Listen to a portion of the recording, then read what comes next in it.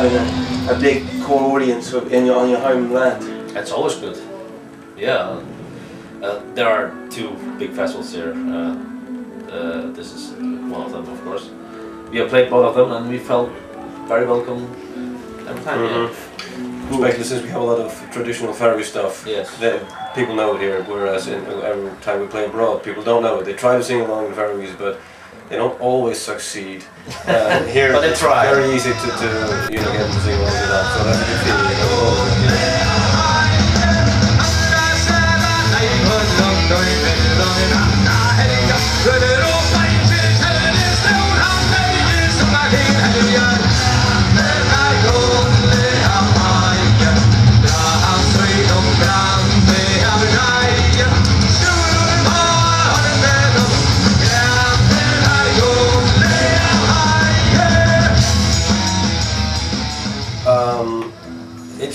Very real. I mean, the, the, folk stuff they put in it is completely authentic, and, and uh, it's it's a very good, although heavy metal, representative of, of the culture. So that's very real. Uh, when it comes to some of the English uh, lyrics or, or the non-traditional melodies that just sound traditional, it may be up to 50% theatrical.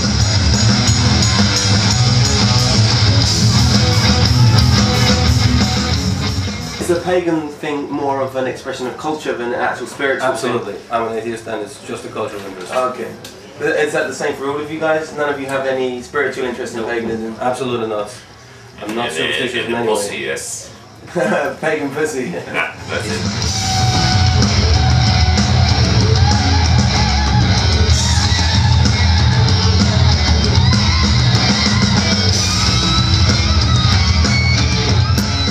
But what, how do you feel about um, other bands who go headlong into that whole pagan thing? You find, do you find you regard that the same way you regard like Christians? No, not really, because I I haven't met very many who, who believe it literally, the, the pagan thing. But very few. And, and those who do are a bit more crazy than Christians. There are, especially in Germany, there are many ridiculously bad bands there that they can't play music at all and they call themselves pagan and uh, Viking metal or whatever and they just sound like crap. And how do you feel about um, other artists that aren't metal? Like that that la- the blonde lass um, from the Faroes. I, I can't pronounce her name. Eivør? Eivør. Yeah. She uh, in, she does like you. She sings some old Faroese folk Yes, stuff. yes, it does. Do you, do you enjoy her music or? No, And we, we to- enjoy, enjoy her. yes. yeah, of course, to some extent, yes. Yeah, I, I like I already, I already enjoyed her, so that's fine.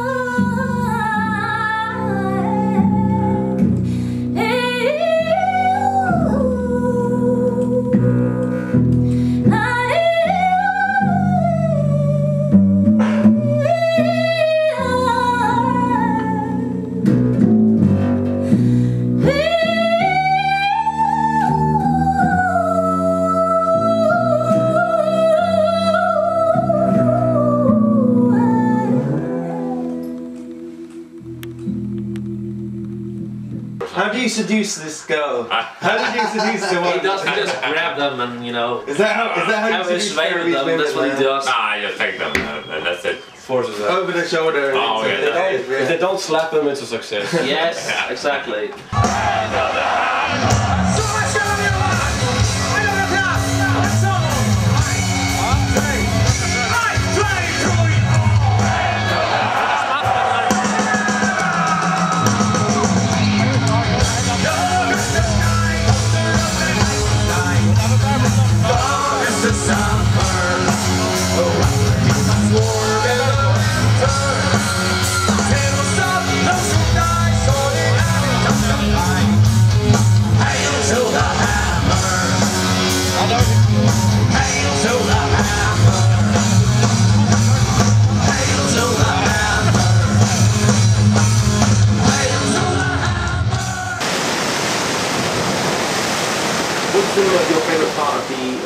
locations that means the most to you? Or maybe you have different ones, but is there anywhere? Shimanes, Skalahyr, Shimanes. My mother's kitchen in Lamba. the, long, the longest, the longest fjord here is where I'm from, and that's just the most beautiful place in the world. Yeah, I like that fjord. I would say Saksun.